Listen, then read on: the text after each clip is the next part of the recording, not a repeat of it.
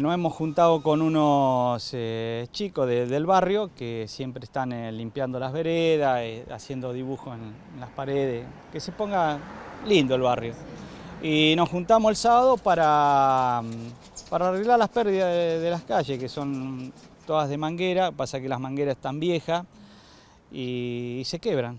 Así que bueno, nos juntamos con los chicos los sábados y estamos arreglando eh, las pérdidas de las ¿Cómo calles. surgió la idea de poner manos a la obra en esto en particular? Y porque tantos reclamos que se hace APSA eh, no tenemos respuesta, entonces eh, no, puede, no pueden arreglar las calles, lo entendemos al delegado, te dice que te voy a arreglar las calles y es un desastre. Bueno, entonces dijimos, nos pongamos con los chicos, nos pusimos de acuerdo y bueno, estamos en eso. Y ¿Cuántas personas son?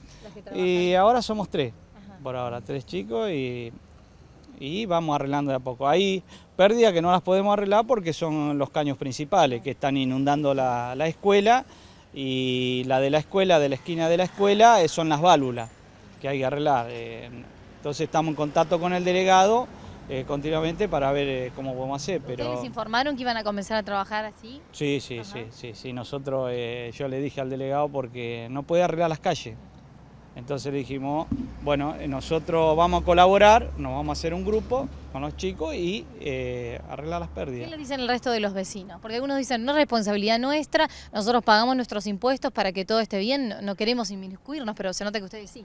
Sí, pero con eso no vamos a ningún lado, porque si no, así el barrio va a estar eh, siempre con pérdida y cosas. El vecino se tiene que involucrar. Si son mangueras, eh, son mangueras que se arregla fácil, no es que perdés mucho tiempo. Yo creo que el vecino se tiene que preocupar, igual que con las pérdidas de las casas. Hay vecinos que todavía tira el agua a la calle y teniendo cloaca. Todo el barrio de tiene cloaca. Entonces el vecino tiene que colaborar con el vecino, no llevarle el problema a los otros vecinos.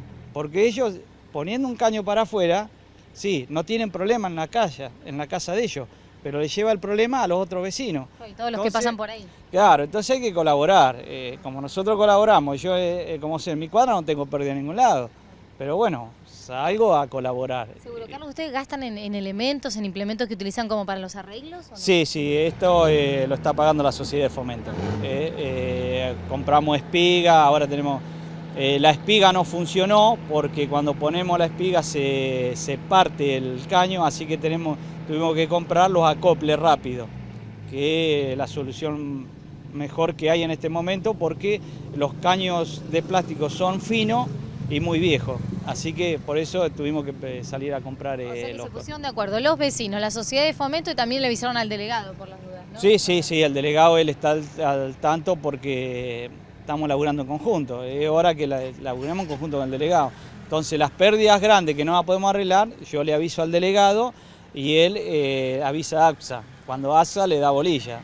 Pero bueno, ahora eh, ustedes van para el lado de, de, la escuela 36, un desastre, un desastre porque eh, tenemos la pérdida grande de, la cañería esa que no pudimos arreglar porque sale y entonces nos pusimos porque es la cañería principal.